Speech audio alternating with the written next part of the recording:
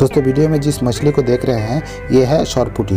कहीं कहीं जगह पर इसको पूठा मछली के नाम से जाना जाता है। लोग हमेशा सरपुटी और चाइना पोटी में फ़र्क नहीं कर पाते हैं। तो इस यहाँ पे जो फ़ोटो में दिखा रहा हूँ, ये है चाइना पोटी तो आप लोग देख ही रहे होंगे, दोनों में काफ़ी सारा फ़र्क है। ये सरपुटियाँ धीरे धीरे विलुप्त होने लगी है। फ़िलहाल इसको हेचरी में ब्रीडिंग कराया जा रहा है। आने वाला समय में इसका संख्या में बढ़त हो जाएगा, हम लोग आशा कर सकते हैं।